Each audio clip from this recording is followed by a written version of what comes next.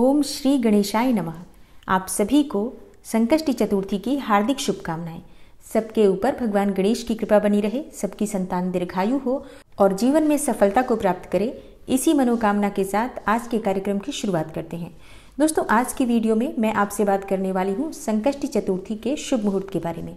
माघ मास की संकष्टी चतुर्थी, तिथि कब प्रारंभ होगी, कब समाप्त होगी और जैसा कि 10 जनवरी को हम व्रत धारण कर रहे हैं तो पूजा का शुभ मुहूर्त क्या होगा?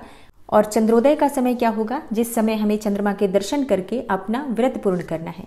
तिलकुटा चौथ की पूजा विधि क्या होगी? व्रत के नियम क्या होते हैं?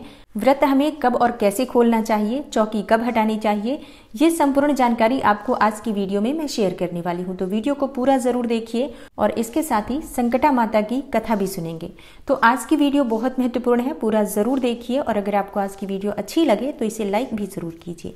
शेयर भी ज़रूर कीजिए फैमिली फ्रेंड्स के साथ और चैनल पर पहली बार आए हैं। अगर अभी तक आपने चैनल को सब्सक्राइब नहीं किया है तो आज की वीडियो अगर आपको अच्छी लगे तो चैनल को सब्सक्राइब ज़रूर कर लीजिए। और बेल बटन को भी प्रेस कर लीजिए। तो इससे ये होगा कि इस चैनल पर जो नई वीडियो अपलोड होंगी, उनकी नोटिफिकेशन आपको सही समय पर प्राप्त होगी। तो सबसे पहले बात करते हैं संकष्टी चतुर्थी के शुभ मुहूर्त के बारे में। चतुर्थी तिथि प्रारंभ हो रही है 10 जनवरी को दोपहर में बारह बजकर दस मिनट पर। और चतुर्थी की तिथि समाप्त होगी 11 जनवरी को दोपहर में दो बजकर इकतीस मिनट पर। तो क्योंकि चंद्रमा हमें शाम का चतुर्थी तिथि का प्राप्त हो रहा है 10 जनवरी को, और चंद्रमा को अर्घ्य देना चतुर्थी के व्रत में बहुत महत्वपूर्ण होता है, इसलिए 10 जनवरी को माघ मास की संकष्टी चतुर्थी का तिलकुटा चौथ का व्रत रखा जाएगा। और आज हमारा व्रत है, और आज पूजा का शुभ मुहूर्त रहेगा, अभिजीत मुहूर्त का समय रहेगा दोपहर में बारह बजकर तेरह मिनट से दोपहर बारह बजकर पचपन मिनट तक। और गणेश जी की पूजा शाम के समय विशेष रूप से होती है तो शाम की पूजा का शुभ मुहूर्त है। शाम को पाँच बजकर उनचास मिनट से शाम छः बजकर सोलह मिनट तक। तो इस समय में आप अपनी पूजा प्रारंभ कर लीजिए और बाकी पूजा, जैसे कि देर रात तक भी पूजा कर सकते हैं, कोई समस्या नहीं है। और जैसा कि कई भक्तों के प्रश्न आए हैं कि पूजा हमें किस समय करनी है, कथा हमें कब सुननी है तो देखिए, पूजा एक तो आप सुबह करेंगे, सुबह उठकर स्नान इत्यादि करने के बाद आप सबसे पहले पूजा करते हैं भगवान गणेश की और व्रत का संकल्प लेते हैं। इसके बाद आपका व्रत प्रारंभ हो जाता है। अब कई स्थानों पर दोपहर में भी पूजा की जाती है। तो दोपहर की पूजा के लिए जो अभिजीत मुहूर्त का समय मैंने आपको बताया है, दोपहर बारह बजकर तेरह मिनट से दोपहर बारह बजकर पचपन मिनट तक। आप इस समय में पूजा कर सकते हैं। या फिर जिस प्रकार से आपके यहाँ होता है, जो आपके घर की परिवार की परंपरा है, उसके अनुसार आप दोपहर में पूजा कर सकते हैं। विशेष पूजा भगवान गणेश की शाम के समय होती है, जो शाम की पूजा होती है संकष्टी चतुर्थी की। उस समय कथा सुनी जाती है और उस समय विशेष रूप से भगवान को तिल का भोग लगाया जाता है। तिल और गुड़ के लड्डू का भोग बनाकर या तिलकुटा बनाकर भोग लगाया जाता है। कई स्थानों पर तिल के पहाड़ बनाए जाते हैं और कई स्थानों पर तिल के बकरे भी बनाए जाते हैं। तो जैसा आपके यहाँ की परंपरा हो, उस प्रकार से भगवान को तिल के लड्डू, तिल के बकरे या फिर तिल के पहाड़ का भोग आप लगा सकते हैं। वैसे विशेष रूप से तिल की मिठाइयाँ होती हैं जो भगवान गणेश को अर्पित किया जाता है और भुने हुए तिल होते हैं और उसमें गुड़ मिलाकर, तिलकुटा बनाकर भगवान गणेश को अर्पित किया जाता है। इसके साथ ही आप भगवान को मोदक अर्पित कर सकते हैं, फलों का भोग लगा सकते हैं। ये पूरी तरह से आपकी इच्छा, क्षमता और आपके सामर्थ्य पर निर्भर करता है। और अब बात करें तिलकुटा चौथ के पूजा विधि के बारे में तो देखिए, सुबह की पूजा बिल्कुल संक्षिप्त रूप से, जैसे आप नियमित पूजा करते हैं, रोज की पूजा करते हैं, उसी प्रकार से पूजा करते हैं, अपने व्रत का संकल्प ले लेते हैं। और उसके बाद शाम के समय जो पूजा होती है, वो विशेष रूप से चौकी लगाकर भगवान गणेश की मूर्ति स्थापित करके और कलश की स्थापना करके विधि विधान से पूजा की जाती है। तो शाम की पूजा विशेष होती है और शाम की पूजा में कलश की स्थापना करना अत्यंत आवश्यक होता है, क्योंकि कोई भी विशेष पूजा जब होती है, किसी भी देवी देवता की तो कलश की स्थापना ज़रूर करनी चाहिए। तो शाम की पूजा के लिए आप जिस भी स्थान पर पूजा करना चाहते हैं, उस स्थान को पहले शुद्ध कर लीजिए, फिर एक चौकी बिछाएँगे, लकड़ी की चौकी, और उसके ऊपर लाल या पीले रंग का वस्त्र बिछा लीजिए। शुद्ध और कोरा वस्त्र होना चाहिए, नया वस्त्र होना चाहिए, जो कि पूजा के लिए ही प्रयोग किया जाता है। इस प्रकार का वस्त्र होना चाहिए। और उसके बाद उसी पर आपको भगवान गणेश की मूर्ति या प्रतिमा जो भी आपके पास उपलब्ध है, स्थापित करना है। आप चाहें तो पूरे शिव परिवार की फ़ोटो या मूर्ति है तो वो भी स्थापित करके और विधि विधान से पूजा कर सकते हैं। और हाँ अगर आपके पास शिवलिंग है तो शिवलिंग की भी पूजा कर सकते हैं। भगवान शिव की और माता पार्वती की, गणेश जी की विधि विधान से पूजा आप आज कर सकते हैं। और जैसे कि भगवान गणेश की मूर्ति है अगर आपके पास तो आप उस विग्रह को स्थापित करके पहले उनका अभिषेक करेंगे, चाहे तो पंचामृत से या कच्चे दूध से या जल से, जो भी आपके पास उपलब्ध है, उसी से भगवान गणेश का अभिषेक कीजिए, उसके बाद उन्हें पीले वस्त्र धारण करवाइए। इसके बाद भगवान गणेश को हल्दी से, कुमकुम से और अक्षत से तिलक कीजिए। भगवान गणेश को पीले पुष्प बहुत प्रिय हैं तो पीले पुष्प उन्हें अर्पित करें। और इसके अलावा आप चाहें तो गुड़हल के लाल पुष्प भगवान गणेश को अर्पित करते हैं तो इससे सुख समृद्धि बढ़ती है, दाम्पत्य जीवन सुखमय होता है, विवाह में आ रही बाधाएँ दूर होती हैं और संतान प्राप्ति की कामना पूर्ण होती है। तो गुड़हल के पुष्प अगर आपको मिल जाते हैं तो आज भगवान गणेश को ज़रूर अर्पित कीजिए। और आज भगवान गणेश को यज्ञोपवीत ज़रूर अर्पित करना चाहिए। पीला यज्ञोपवीत भगवान गणेश को अर्पित किया जाता है, जनेऊ जी से कहा जाता है। वो भगवान गणेश को ज़रूर अर्पित करें। विधि विधान से पूजा करें। तिलकुटा चौथ के दिन तिल और गुड़ का भोग लगाया जाता है, जो मैंने आपको पहले ही बता दिया। तो जो भी आपके पास सामग्री हो, यथासंभव भगवान गणेश को भोग अर्पित कीजिए। ओम गंग गणपतय नमः, ओम गंग गणपतय नमः। इस मंत्र का जप करते हुए भगवान गणेश की पूजा कीजिए।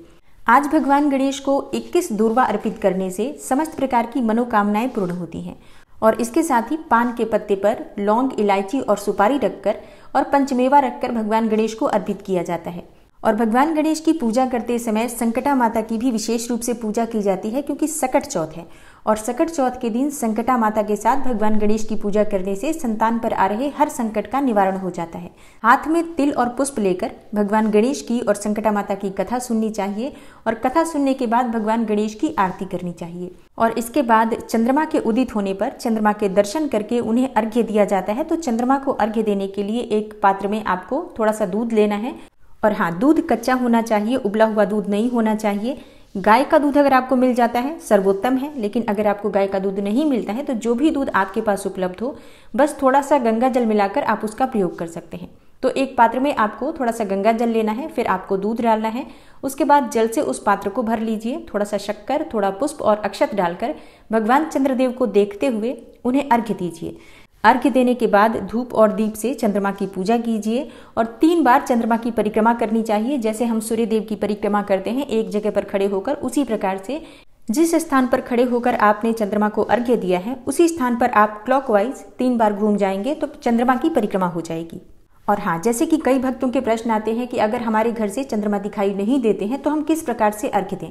तो ऐसे में आप एक पात्र में चंद्रमा की आकृति बनाकर और उसी के ऊपर, उसी पात्र में आप अर्घ्य दे सकते हैं। चंद्रदेव का स्मरण करते हुए, उनका मंत्र जप करते हुए। चंद्रमा को अर्घ्य देने का मंत्र होता है, ओम चंद्रमसे नमः या ओम सोम सोमाय नमः। इस मंत्र के द्वारा आप चंद्रमा को अर्घ्य दे सकते हैं। चंद्रमा के मंत्र का आप कितनी भी संख्या में जप कर सकते हैं, चाहे तो 108 बार या 11 बार 21 बार, ये पूरी तरह से आपके समय पर निर्भर करता है। और इस प्रकार से विधिवत पूजा आराधना करने के बाद आप भगवान गणेश जी से क्षमा प्रार्थना कर लीजिए चंद्र देवता से क्षमा प्रार्थना कर लीजिए, क्योंकि व्रत में, पूजा पाठ में कई तरह की हमसे जाने अनजाने गलतियाँ हो जाती हैं तो उन सभी प्रकार की गलतियों के लिए क्षमा प्रार्थना अत्यंत आवश्यक है। और इसके बाद भगवान गणेश से प्रार्थना कीजिए कि आपकी संतान पर सदैव उनकी कृपा बनी रहे। आपके परिवार पर सदैव उनकी कृपा बनी रहे। घर में सुख, समृद्धि और सौभाग्य हमेशा आपका बना रहे, इसके लिए प्रार्थना कर लीजिए। अब आपका व्रत संपूर्ण हो जाता है। आपने जो भी प्रसाद अर्पित किया है भगवान गणेश को, जो भोग अर्पित किया है, प्रसाद स्वरूप सबसे पहले अपनी संतान को खिलाना चाहिए, उसके बाद परिवार के सभी सदस्यों को देना चाहिए। बच्चों को भी पूजा में शामिल कीजिए, उनसे कहिए, भगवान गणेश की पूजा करें वो भी, और आरती ज़रूर परिवार के सदस्यों के साथ मिलकर आप कीजिए। और हाँ बच्चों के माथे पर तिलक ज़रूर लगाइए। जो भी आप भगवान गणेश को तिलक लगाते हैं तो उसी उंगली से अपने माथे पर भी तिलक कीजिए और अपने बच्चों के माथे पर भी तिलक कीजिए। और इस प्रकार से विधि विधान से पूजा करने के बाद आप अपना व्रत खोल सकते हैं, जल पी सकते हैं, क्योंकि निर्जला ये व्रत किया जाता है, इसलिए सबसे पहले जब हम व्रत खोलते हैं तो अपने हाथ में तिल लेकर और तिल खाकर ही सबसे पहले जल पिया जाता है। उसके बाद जो भी शुद्ध और सात्विक भोजन आपने बनाया है, आप उसे ग्रहण कर सकते हैं। कई स्थानों पर यह व्रत अगले दिन भी खोला जाता है तो जिस भी प्रकार से आपके यहाँ ये व्रत किया जाता है, आप उस प्रकार से ये व्रत कर सकते हैं। और हाँ जैसे कि कई भक्तों के प्रश्न आए हैं कि चौकी हमें कब हटानी चाहिए तो देखिए, चौकी हमें अगले दिन हटानी चाहिए। आप पूजा कर लीजिए, प्रसाद इत्यादि वितरित कर लीजिए, चौकी उसी स्थान पर रहने दीजिए। अगले दिन आप प्रातःकाल जल्दी उठिए और फिर स्नान करने के बाद भगवान गणेश की पूजा कर लीजिए पंचोपचार विधि से उसी चौकी पर और उसके बाद आप चौकी हटाएँगे। तो इस प्रकार से आपका संकटा चौथ का व्रत संपूर्ण होता है। और अब सुनते हैं सकट चौथ व्रत की कथा। एक शहर में एक देवरानी और जेठानी रहती थी। जेठानी अमीर थी और देवरानी गरीब थी। देवरानी गणेश जी की भक्त थी। देवरानी का पति जंगल से लकड़ियाँ काट कर बेचता था और अक्सर बीमार ही रहा करता था। और इसलिए घर का खर्च चलाने के लिए देवरानी जेठानी के घर का सारा काम करती थी और बदले में जेठानी बचा हुआ खाना, पुराने कपड़े आदि उसको दे देती थी। और इसी से जैसे तैसे देवरानी का परिवार चल रहा था। एक बार माघ के महीने में देवरानी ने तिल चौथ का व्रत किया। पाँच आने का तिल और गुड़ लाकर तिलकुट्टा बनाया। पूजा करके तिल चौथ की कथा सुनी और तिलकुट्टा छीके में रख दिया और सोचा कि चाँद उगने पर पहले तिलकुट्टा खाएगी और उसके बाद ही कुछ और खाएगी। कथा सुनने के बाद वह जेठानी के यहाँ चली गई। जेठानी के घर जाकर उसने खाना बनाया और खाना बनाकर जेठानी के बच्चों से खाना खाने को कहा तो बच्चे बोले, माँ ने व्रत किया है और माँ भूखी है। जब माँ खाना खाएँगी, हम भी तभी खाएँगे। जेठ जी को खाना खाने को कहा तो जेठ जी भी बोले, मैं अकेला नहीं खाऊँगा। जब चाँद निकलेगा, तब सब खाएँगे, तभी मैं भी खाऊँगा। जेठानी ने उसे कहा कि आज तो किसी ने भी अभी तक खाना नहीं खाया है, तुम्हें कैसे दे दूँ? तुम कल सुबह सवेरे ही आकर बचा हुआ खाना ले जाना। ये सुनकर देवरानी अपने घर लौट आई। यहाँ देवरानी के घर पर पति और बच्चे सब आस लगाए बैठे थे कि आज तो त्योहार है, इसलिए कुछ पकवान आदि भी खाने को मिलेगा। परंतु जब बच्चों को पता चला कि आज तो रोटी भी नहीं मिलेगी तो बच्चे रोने लगे। उसके पति को भी बहुत गुस्सा आया और कहने लगा कि सारा दिन काम करके भी दो रोटी नहीं ला सकती तो काम क्यों करती हो? पति ने गुस्से में आकर पत्नी को कपड़े धोने के धोवने से मारा। धोवना हाथ से छूट गया तो पाटे से मारा। वह बेचारी गणेश जी को याद करती हुई रोते रोते पानी पीकर सो गई। उस दिन गणेश जी देवरानी के सपने में आए और कहने लगे कि धोवने मारी, पाटे मारी, सो रही है या जाग रही है? देवरानी बोली, कुछ सो रही हूँ, कुछ जाग रही हूँ। गणेश जी बोले, भूख लगी है, कुछ खाने को दे। देवरानी बोली, क्या दूँ? मेरे घर में तो अन्न का एक दाना भी नहीं है। जेठानी बचा खुचा खाना देती थी, वो भी आज नहीं मिला। पूजा का बचा हुआ तिलकुट्टा छीके में पड़ा है, वही खा लो। तिलकुट्टा खाने के बाद गणेश जी बोले, धोवने मारी, पाटे मारी, निमटाई लगी है, कहाँ निमटे? देवरानी बोली, पूरा घर पड़ा है, जहाँ इच्छा हो वहीं निमट लो। फिर गणेश जी बच्चे की तरह बोले, अब कहाँ पहुंचूं नींद में मग्न देवरानी को बहुत गुस्सा आया कि कब से तंग किए जा रहे हैं। सो नींद में ही गुस्से में बोली, मेरे सर पर पहुँच लो, और कहाँ पहुंचोगे सुबह जब देवरानी उठी तो यह देखकर हैरान रह गई कि पूरा घर हीरे और मोती से जगमगा रहा है। सिर पर जहाँ विनायक जी पहुंचनी कर गए थे, वहाँ हीरे के टीके और बिंदी जगमगा रहे थे। उस दिन देवरानी जेठानी के यहाँ काम करने नहीं गई। बड़ी देर तक राह देखने के बाद जेठानी ने बच्चों को देवरानी को बुलाने के लिए भेजा। जेठानी ने सोचा कि कल खाना नहीं दिया, इसलिए शायद देवरानी बुरा मान गई है। बच्चे बुलाने गए और बोले, चाची, चलो, माँ ने बुलाया है, सारा काम पड़ा है। देवरानी ने जवाब दिया, अब उसकी ज़रूरत नहीं है, घर में सब भरपूर है, गणेश जी के आशीष से। बच्चों ने घर आकर माँ को बताया कि चाची का तो पूरा घर हीरे और मोतियों से जगमगा रहा है। जेठानी दौड़ती हुई देवरानी के पास आई और पूछा कि, ये सब कैसे हुआ? देवरानी ने उसके साथ जो कुछ भी हुआ था, वो सब कह डाला। घर लौटकर जेठानी ने अपने पति से कहा कि आप मुझे धोवने और पाटे से मारो। उसका पति बोला कि, भली मानस, मैंने कभी तुम पर हाथ भी नहीं उठाया है। मैं तुम्हें धोवने और पाटे से कैसे मार सकता हूँ? वह नहीं मानी और जिद करने लगी। मजबूरन पति को उसे मारना पड़ा। उसने ढेर सारा घी डालकर चूरमा बनाया और छीके में रखकर और सो गई।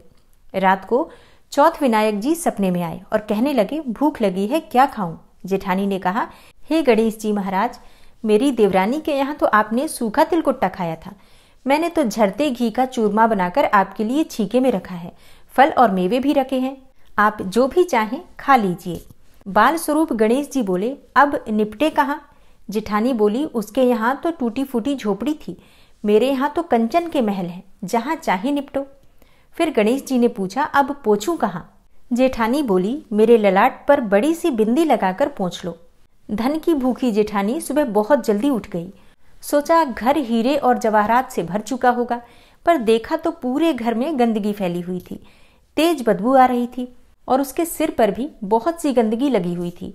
यह सब देखकर जेठानी बहुत परेशान हुई और उसने कहा, हे गणेश जी महाराज, यह आपने क्या किया है?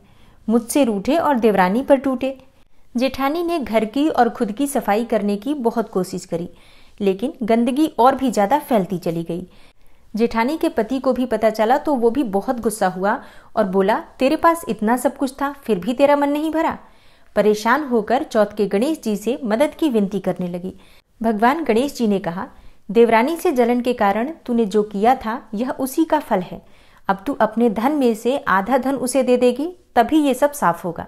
गणेश जी के कहने से उसने देवरानी को आधा धन तो बांट दिया, किंतु मोहरों की एक हांडी चूल्हे के नीचे गाड़ रखी थी। उसने सोचा, किसी को नहीं पता चलेगा, और उसने उस धन को नहीं बांटा।